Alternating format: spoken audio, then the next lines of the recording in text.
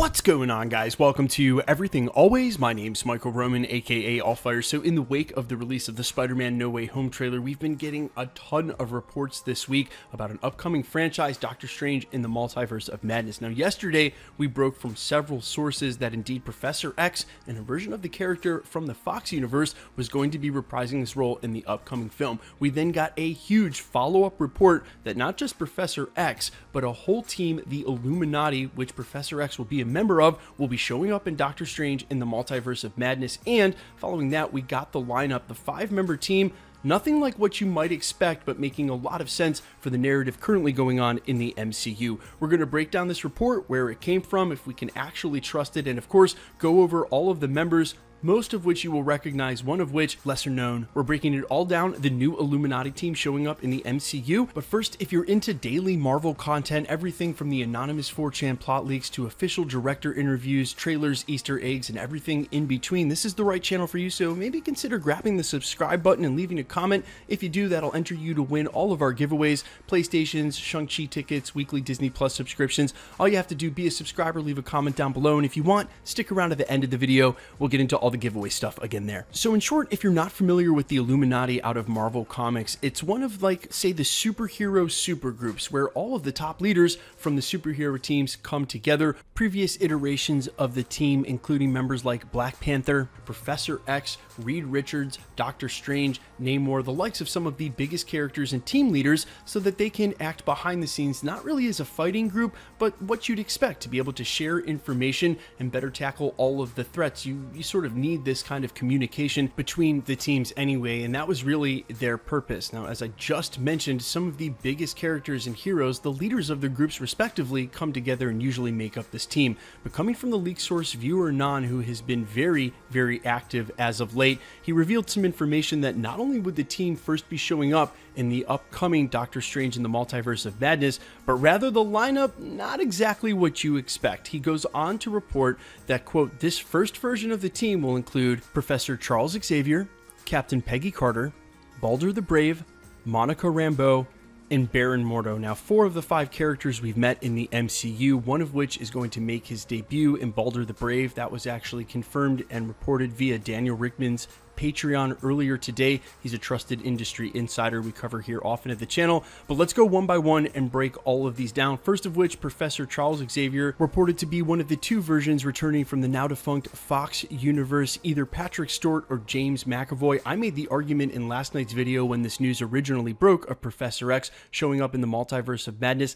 I was pretty sure it had to be James McAvoy. Sir Patrick Stewart originally had the same reasons for turning down the role as Hugh Jackman. They had an emotional send off to the characters and didn't want to reprise them, but we got an update today in a coy tweet from one of the writers over at Variety seeming to imply that it is indeed Patrick Stewart. So we'll have to wait and see, but oh man, all the nostalgia. If we had him come back, that would be amazing. The second character, obviously, Captain Peggy Carter, just made her debut in the first episode of What If animated series, and as we had reported about a month before that series went live here on the channel, this was the thumbnail I used of live action Peggy Carter that indeed, What If was clearly in the MCU and that some of the events and characters would go on to influence and eventually show up there as well. So no surprise Captain Peggy Carter will be showing up in Multiverse of Madness. We've been reporting on this for months, just didn't know that she'd be making up an own little superhero team of her own in the Illuminati. Now the next one, Balder the Brave, maybe less known to some of you, is an Asgardian as you might have guessed and brother of Thor.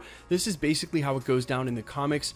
Uh, his death is what's supposed to trigger Ragnarok, or at least there's a prophecy of that. So Odin tells Frigga to make Balder the Brave invulnerable to harm. Now, during a battle with the Frost Giants, Balder has a tender heart. He saw a bird and wanted to restore that bird to the nest, and so Odin accuses him of treason. And in doing so, tells two of the other brothers to shoot arrows at him and lances as well. Well, Balder doesn't flinch when that happens, and that makes Odin convinced that Balder may be the bravest Asgardian of them all, and decides to indeed grant him the invulnerability. So Balder the Brave, uh, invulnerable to harm. Seems a little overpowered, but hey, we're in this era of the MCU. We're eventually getting Adam Warlock and Galactus, so maybe not. The next character, Monica Rambeau, we were all introduced to during WandaVision, and it makes a lot of sense that she would have a place on this team because technically now I would have guessed that she's probably the head of SWORD and she's super powered. Seems like the perfect position for a panel like this to have someone who has all of Sword's intel and is in charge of that organization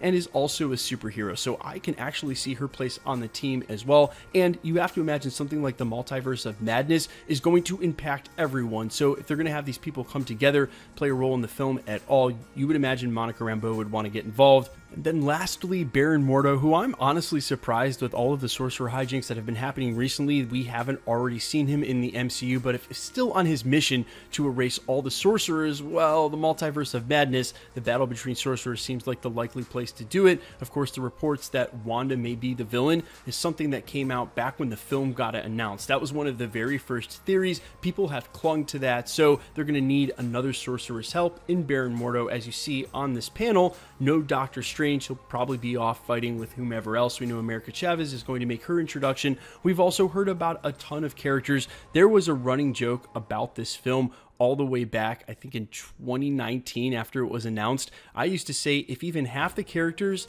that are rumored to show up in this film actually show up, it'll be even crazier than Avengers Endgame. Well, that's before we knew anything about Spider Man No Way Home, and as it turns out, this may be par for the course going through Marvel Phase 4 if the multiverse is indeed the focus of their next saga and it all culminates with Kang. Guys, let me know all your thoughts and reactions down below. If you're a little upset about this first iteration of the team, it's the first iteration of the team. Rest assured, as the MCU grows and we get more teams like the Fantastic Four, other members will make their way to this panel, and I assume that the Illuminati is something that will just roll with lineup changes throughout these films. Um, eventually, yes, we should see Doctor Strange, Reed Richards, Professor X, whomever goes on to take up the Black Panther mantle, maybe the leader of the Avengers. It's going to be awesome. I, I can't wait to see this. Honestly, Multiverse of Madness and Spider Man No Way Home sound like absolutely bonkers movies. Just bonkers. Guys, let me know your thoughts down below quickly. Let's get into the giveaway stuff before I let you go. Still giving away a couple of PlayStation 5s, one at 900,000 subscribers, one with the culmination of What If in six months. Six months, six weeks. I apologize. We're also giving away weekly Disney Plus subscriptions. We'll announce a winner for that tomorrow. And we're also giving away Shang-Chi tickets next week. If you want to be, in fact, we're going to give Shang-Chi tickets away every day next week. If you want to be entered to win, all the same rules will always apply, always have, and always will for the giveaways here. Super simple. Hit the subscribe button because you need to be a subscriber. And if you like daily Marvel content, just do it anyway. Cover everything here. Uh, also, make sure to leave a comment down below. Technically, because it's truly random, the more videos you comment on, the better chance you have of winning.